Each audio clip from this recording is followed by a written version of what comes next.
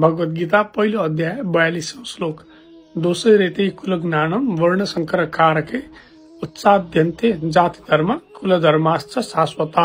अब यहाँ अर्जुनको दूरदर्शिता देखिन्छ।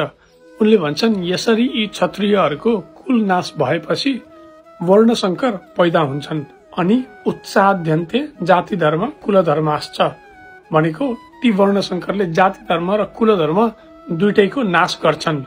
अब यहाँ अर्जुन फेरि भन्छन् कुल धर्माश्च शाश्वत भनेर। तर कुल धर्म शाश्वत हुँदैन तर यो लामो समयसम्मको लागि चलिरहनु पर्ने चाहिँ धर्म हो। यसले गर्दा समाजमा सुख समृद्धि अनि सुशासन कायम हुन्छ। अब यसरी अर्जुनको चिन्ता चाहिँ युद्धमा आएका क्षत्रियहरू जसलाई उनले आतताई भनेका छन् यी आतताईहरूलाई मार्ने मात्र होइन कि तिनीहरूलाई मारिसकेपछिको भयानक परिणाम के के हुन्छ त त्यसबाट। वर्ण शङ्करहरूको उत्पत्ति। त्यस पछाडि जाति धर्म कुल धर्मको नाश अनि त्यसले गर्दा समाजमा फैलिने अराजकता र विध्वंस। उनी त्यो चिन्ताले गर्दा चाहिँ युद्ध गर्न चाहँदैनन्।